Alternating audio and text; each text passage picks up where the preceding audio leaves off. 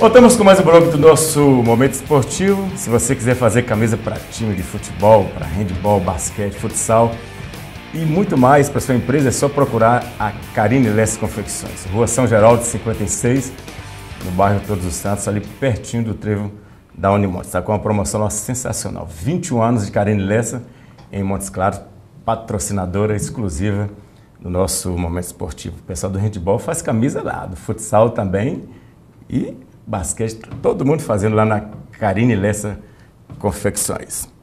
Olha, Montes Claros é campeã mineira de handball juniores masculino e também está tá classificado para o brasileiro da categoria do ano que vem. Os garotos agora fizeram barba e cabelo. O adulto feminino também está na final e o masculino. Nós vamos bater um papo agora com os craques, campeões mineiros juniores. Matheus Nagy, esse está no sangue. Esse é a mãe e o pai do handball. Tá. E Marcos Braz, também craque do handball de Montes Claros. Galera, primeiro parabéns. Mais um título para Montes Claros. Marcos, Muito parabéns. obrigado. Medalhona aí. Podia mostrar para a galera já. Começar o programa mostrando a- as medalhas. Por que, que o handball de Montes Claros é um dos melhores de Minas Gerais? Agora o junior é o melhor de Minas. E em todas as categorias. O feminino foi vice-campeão. A Francis, mandar um abraço para ela, é mãe dele, viu? É a melhor treinadora de Minas Gerais. Eu nunca tive dúvida disso. Eu sempre falei que ela é a melhor de Minas Gerais. Foi goleira, uma das melhores, junto com aquele time que tinha Clarissa, Cristina, a outra Cristina Preta, Mercedes, que agora é mamãe.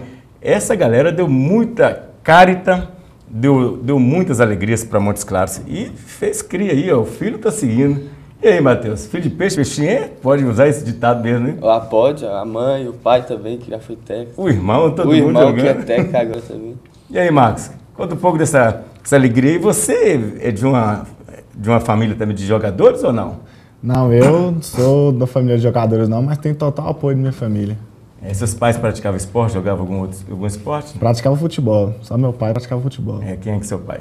Meu pai é o Genivaldo, chama Genivaldo. Tá certo. Vamos falar um pouco dessa, dessa, desse título aí, né? Agora é alegria, só festa agora. Só alegria agora.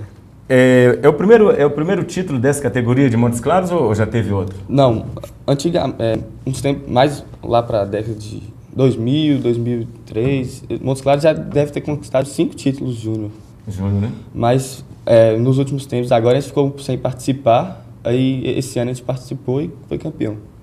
Marcos, você joga de qual posição? Eu jogo de na armação. Armação. Armação, é. É o cara que faz muito, mas leva também muita pancada. E Matheus, tá até o pivô, não? Arma- Não, armador, Também armador? armador central. Armador central? Eu sei que no brasileiro que teve aqui, eu vi lá, você jogou, o time seu é muito novo. Vocês são campeões juniores, mas não, não, não são dessa idade, né? É. É. bem mais novo, né? Nosso time, todo ano que vem, ainda joga. Então, no brasileiro ano que vem, a gente vai estar com o time todo, o campeão desse ano, todo ano que vem. Sinônimo de que o ano que vem nós seremos bicampeão. Bicampeão, com certeza, se Deus quiser. Como é que é a cobrança? Sua mãe é treinadora. E ela é daquela que cobra muito, hein? Eu conheço, mas cobra, mas resultado tem. E aí? Dentro da quadra, é, é trato igual ou, ou tem preferência porque é o meu filho, é o filho dela? Na preferência não tem, não. Ela cobra um pouco a mais, assim, que até porque não tem jeito, né? Filho e mãe não tem como. Não Dá tem uns cascudinhos também? Não, não. Não dá não? Mas é tranquilo. Marcos, e você já treinava com Francileia? Já treinava já desde os... 19 anos. Essa galera parece estar desde 9 anos aí treinando com você. Não é você não, né? É, desde os 13 anos já venho treinando com ela já, desde pequeno, desde mais novo já. E aí, um fala, fala um pouco da, da, da campanha suas, como é que foi o título lá, jogou com quem, como é que foi a primeira partida, os resultados. O primeiro jogo nós jogamos foi contra a Ponte Nova, que foi um jogo bastante difícil, que era um time bastante rápido, né? E a final nós jogamos foi contra Betim, que foi um jogo garrado, sempre empatando, diferença de um, dois gols. Foi muito complicado lá, lá 33 a 31. 33 a 31. A gente destronou o Betim, na verdade, né? Porque o Betim foi campeão três vezes seguidas desse campeonato. E a gente foi lá e tirou o título deles agora. Ele já, quem, ele- quem que tirou vocês no brasileiro ano passado aqui? Você, jogaram no, Bra- você jogou no brasileiro Foi ano, foi ano passado, não? Foi, ano atrasado. é, a gente perdeu pro time lá de Santa Catarina. É time que o cara recebe pra jogar, de seleção brasileira. Seleção, né? Só joga, ganha pra isso. Vocês eh, recebem pra jogar ou não? Não, Ou não. pagam pra jogar? Porque os atletas fazem é pagar pra jogar, né? Pagar pra jogar a gente não paga não, porque é a prefeitura tá, é banca, né? Banca viagem, banca alimentação nas viagens, dá local de treinamento. Nós já tivemos uma fase aqui que era terrível, nós já tivemos que pagar para para viajar. E o Clarice, Francileia, Mercedes, essa galera toda aí. Ônibus quebrou lá em Valadares, agora não tem esse problema mais não, né? Não, tem não. ônibus, prefeitura Tem tá dando ônibus, ônibus? Tá dando ônibus. Que bom, hein? Parabéns lá. A Clarice é a coordenadora de esporte e rendimento lá. Isso. Mandar um abraço para ela, futura mamãe, Marco Antônio, paizão aí. Aí que vai vir mais um corintiano, porque o pai é corintiano. A mãe é o quê? Cruzeirense. Cruzeirense. Cruzeirense. Aí é dose. Betim 33 31. Ponte Nova, vocês ganharam, né? Também. 29 a 26. Isso. Qual que foi o jogo mais difícil? 31, 33, 31, às vezes nem sempre quer dizer que foi o jogo mais difícil, mas dois gols de diferença? Não, foi difícil esse jogo contra o Foi? Betim. Foi, foi agarrado. Foi o jogo. Eles começaram ganhando a gente. Aí a gente logo, logo empatou e virou o jogo, mas ficou sempre a gente. Abriu um gol, eles vinham e empatavam. Abriu o gol, eles vinham e empatavam. Sempre agarrado o jogo. Aí no finalzinho ali a gente conseguiu abrir uma diferença tranquila e sair com a vitória. Marcos, você pratica algum outro esporte ou só o handball? Eu já pratiquei o futsal já, mas não foi muito bem no esporte não. Mas só o handball hoje é só o handball. O que, que te levou a ir pro handball e ficar no handball? Esse aqui eu já sei. Esse aqui não precisa nem perguntar, que foi influência dos pais e você. Eu foi porque foi incentivo mais de França, que eu fiz um, um- comecei a treinar lá, novo, e ela falou que eu levava jeito, tinha um tamanho legal, bacana. Aí eu decidi seguir.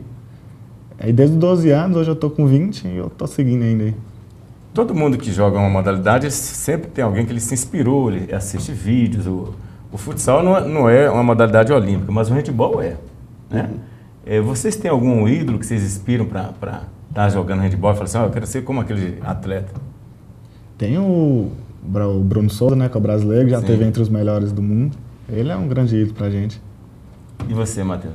Ah, também esse Bruno Souza, todo mundo que joga handball e começou nessa fase que eu comecei, todo mundo tem como Bruno Souza. Eu fiz, tive a oportunidade de fazer um curso com ele nesse ano, cara, sensacional. Muito bom, muito boa pessoa. O que você pretende ganhar dinheiro com handball? Ah, bem meio difícil, né? Complicado. Handball aqui no Brasil não é, não é muito reconhecido. E você, você Marcos? Mas não tá aqui não tem jeito, aqui no Brasil é complicado demais o handball. Principalmente em Minas, né? É, mas o handball daqui de Montes Claros é o melhor de Minas. É o melhor de Minas. Feminino, masculino sempre foi. Olha, vocês estão classificados para o brasileiro do ano que vem? Brasileiro ano que vem. Já tem data? Não, ainda não tem data não. Até o início do ano já tem data já. Tem um outro mineiro juvenil aí também? Vocês têm vaga garantida aí? É, eu ou, sou- vai- ou vocês não jogam? É, não, eu jogo, eu sou. Você joga? Eu jogo Você sou- não, né, Eu Marcos? não, eu sou júnior já. Você já tem quantos anos? Tem 20. Eu tenho 17. 17? Ih, tem muito handball para fazer Tem. pela frente aí. Não deu para jogar handball, se não der para continuar profissionalmente. O que, que você pretende seguir? Primeiro que saber do Matheus. Ah, seguir a carreira universitária, né? Tentar conciliar os dois, não quero parar de jogar não, até porque não tem como, né? Mas seguir essa carreira universitária aí e conciliar junto com, a com o handball e daí continuar jogando adulto, isso daí. Qual, o que, que você quer seguir? Universitário? Qual, o que, que você vai fazer? Ah, tô olhando aí ainda, não decidi ainda não. Ele era- ele estava fazendo faculdade, viu? No Unimonte desistiu, estava fazendo administração. Por que, que você desistiu? Ah, Rubem, tava meio. Eu tava junto com. Eu tava fazendo faculdade à noite, né? Eu tava meio que parando de, de treinar, assim. Não tava gostando também muito do curso e juntou isso tudo e acabei desistindo. Essa é uma febre mesmo. Parou por causa do handball. Eu tenho Não, certeza que só foi, por foi por isso para treinar. Não era o curso que você queria, né? Não, não, não. não. E você, Marcos, já faz a universidade ou não? Eu já faço já lá na FUNORTE, faço engenharia civil. Ah, então já está bem encaminhado. É, tô bem encaminhado aí. Tá certo. Nós estamos batendo papo com os atletas campeões mineiros de handball. Nós vamos para o intervalo comercial.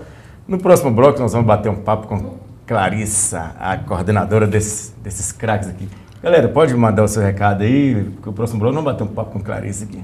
Agora é pegar firme. Agora eles têm a oportunidade de ganhar o Campeonato Mineiro Juvenil, que é daqui duas semanas. Vai ser lá em Santa Vitória. A gente já está na fase final, faz a semifinal contra Santa Vitória. Aí, se Deus quiser, a final vai ser quem vencer entre Luz e Betim. Dedica essa vitória, esse título a alguém? A dedicar tem que ser a minha mãe, né? Ah, claro. Parabéns, Francis, campeã. Ela foi a melhor técnica lá também. Dos masculino e do feminino, ela foi. Então pode levantar a medalha e mandar para ela. E pode morder a medalha, dar um beijo para ela aí. É nossa, ela é aqui de Montes Claros também. Tá isso. E você, Marcos? Eu dedico essa vitória aos meus companheiros mesmo, né? Meus colegas, desde 12 anos jogando juntos. De... Aí Time- preparar bem pro brasileiro, né? O ano que vem. É, o time é muito adulto. unido, o time nosso é. Muito unido. Desde... Isso é mesmo. Eu sou testemunha disso. Tá certo. Nós vamos para o intervalo comercial. No próximo bloco, nós vamos bater um papo com a mamãe aqui, a Clarice, coordenadora dessa galera aqui. Já já a gente volta. Já já a gente volta.